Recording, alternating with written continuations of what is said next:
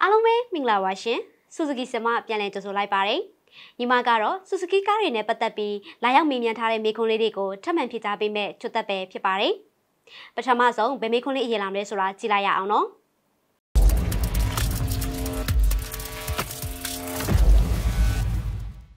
အာတီကာကားအတွက်ဘလို့အော်တိုဝိုင်အမျိုးအစားလေးသုံးသစ်လဲအကြံပေးပါအောင်ကြီးစုပါဆိုပြီးကိုထွန်းနိုင်ကလာမိထားတာပဲဖြစ်ပါတယ် ဟုတ်ကဲ့ပါအကိုရေအာတီကာကားအတွက်ဆိုရင်တော့ Astar တစိ AW1 အနီရောင် Auto 1အမျိုးအစားကိုအသုံးပြုဖို့ Suzuki က recommend ပေးထားပါတယ်ရှင့်နောက်ထပ်မေးခွန်းလေးတစ်ခုကတော့ brake စီကိုဘယ်အချိန်လောက်ဆိုလဲရတာလဲစီးရက်ကားပြဆိုပြီးကိုအောင်မြင်ဆိုတဲ့အကောက်ပိုင်ရှင်ကလာမိထားတာပဲဖြစ်ပါတယ်ဟုတ်ကဲ့ပါကိုအောင်မြင်ရှင်ဆူဇူကီကားများအတွက်ဆိုရင်တော့ brake စီကိုကီလို3000သုံးမဟုတ်နှစ်နှစ်တွင်လဲလဲဖို့ဆူဇူကီကအကြံပြုထားပါတယ်ရှင့်နောက်ထပ်မေးခွန်းလေးတစ်ခုကတော့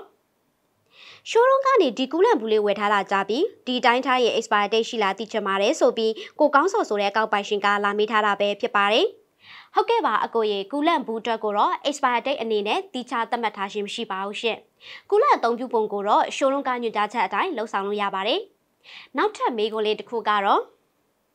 ကျမဆွကြည်ရန်အိတ်ကားရဲ့တိုင်ခွက်မှာအဆိုင်ပေါ်နေတာဘာဖြစ်တာလဲဆိုပြီးမတ်သူစာဆိုတဲ့အကောက်ပိုင်ရှင်ကလာမိထားတာပဲဖြစ်ပါတယ်။ ဟုတ်ကဲ့ပါအမရှင်ဂီယာတန်မှာပါတဲ့ export မှုခလုတ်လေးကိုနှိပ်မိချလို့ပေါ်နေရခြင်းဖြစ်ပါတယ်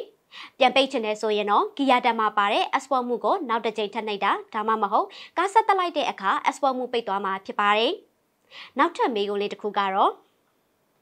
ကိုအေးချမ်းမဆိုတဲ့အကောက်ပိုင်ရှင်က Switch GN Air Cruise Control စနစ်ကဘယ်ချိန်မှစတင်အသုံးပြုလို့ရတယ်လဲဆိုပြီးလာရောက်မေးမြန်းထားတာပဲဖြစ်ပါတယ်။ ဟုတ်ကဲ့ပါအကိုရှင်စစ်ဂျီယန် Air Cruise Control စနစ်ကတနအီကီလိုမီတာ40ဒါမှမဟုတ်40နဲ့အထက်မှာစတင်အသုံးပြုလို့ရပါတယ်ရှင်ညီမတို့ဆူဇူကီစမှာဆူဇူကီကားတွေနဲ့ပတ်သက်ပြီးဗဟုသုတဖြစ်ပွဲအကြောင်းအရာလေးတွေကိုတင်ဆက်ပေးနေတာဖြစ်ပြီးနောက်ထပ်ဘယ်လိုမေးခွန်းလေးတွေကိုထပ်မံဖြေကြားပေးသွားအောင်လဲဆိုတာဆက်လက်စောင့်မျှော်ကြည့်ရှုအားပေးပါအောင်နော်အားလုံးပဲဘိုင်ဘိုင်